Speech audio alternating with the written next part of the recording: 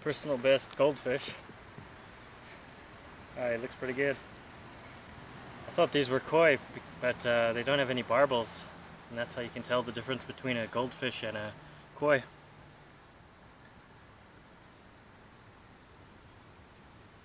Nice colors.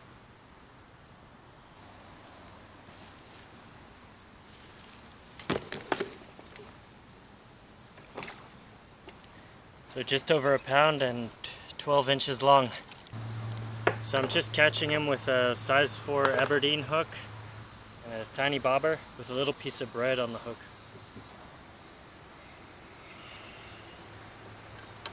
So just take a piece of bread, got the hook here, and fold it on, make it tight, and then take off a bit that I don't need. I've got it about two feet below the bobber.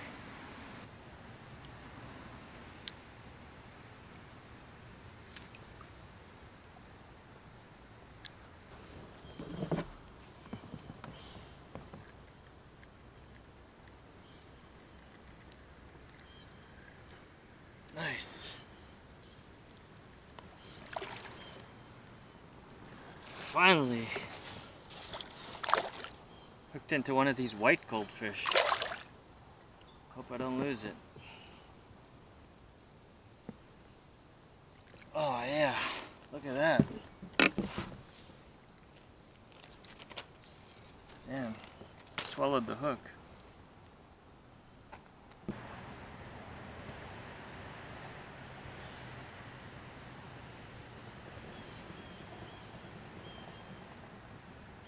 Pretty sweet seen there's probably about no more than 10 I'd say of these in here. There's a ton of the orange ones.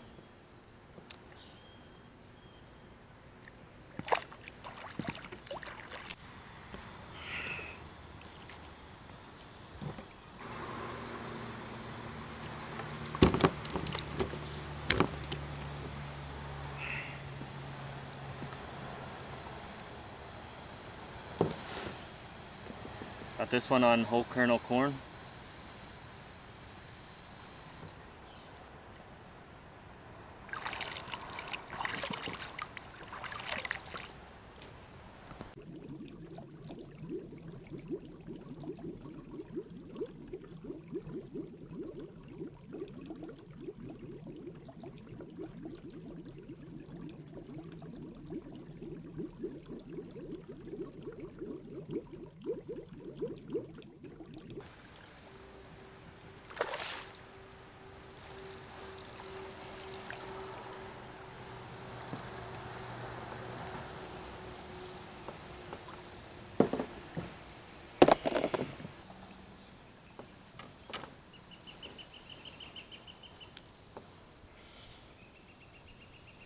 That one.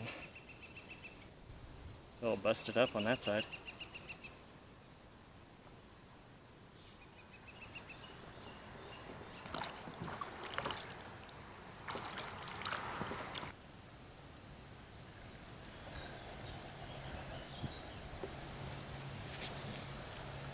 Another fish on.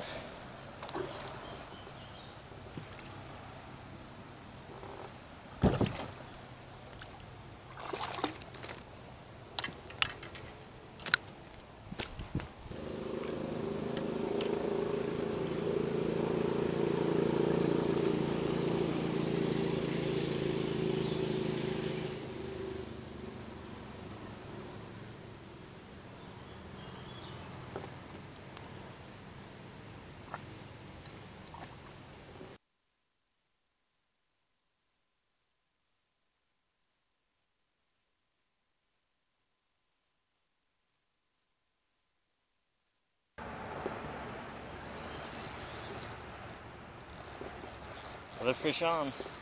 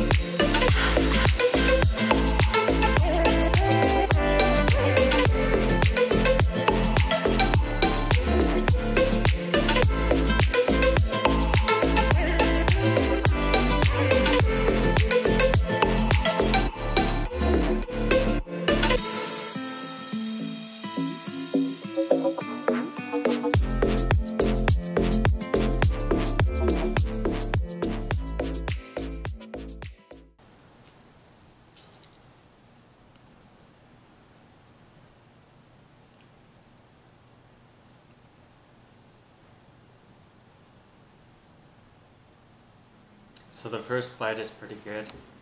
Uh, the fish, the fish texture is pretty soft. Pancake batter is awesome, but there's a lot of bones. They were supposed to fry out soft. I mean, maybe I could swallow them, and I did swallow one, but I don't think it's a. I don't think it's good to be swallowing bones.